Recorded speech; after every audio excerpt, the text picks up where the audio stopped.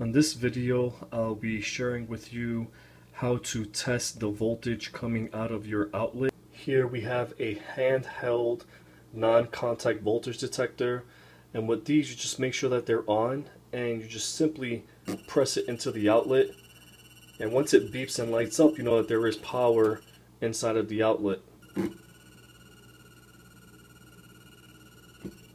Now with this Klein Tools multimeter, this one has one built inside of the multimeter.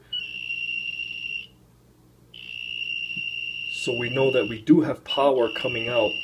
Now what we're going to do is we're going to use our multimeter to go inside and check how many voltages are coming out of this outlet.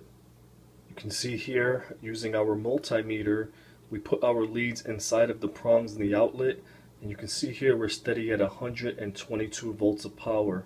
Whenever you're working with exposed wire, you'll follow the same procedure. If you tap it here, it should give you a reading. Right now I have the switch off and I'll turn it on right now. You always want to, whenever you're working with exposed wiring and you turn off the breaker or you turn off the switch, always test it before you work on it. You never know if they hot wired it or if something else was done uh, without your knowledge. Now I've turned the switch back on. You can see here this is getting voltage.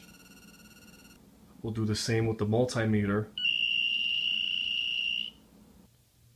If you want to check the voltage on exposed wiring, what you'll do is you'll take your alligator clips, connect it to your leads, and then you'll connect it to the wiring. Now the hot is always going to be your black the white is your neutral, and the copper or the green is going to be your ground. Now I'm going to turn the power on. You can see here we're getting 122 and a half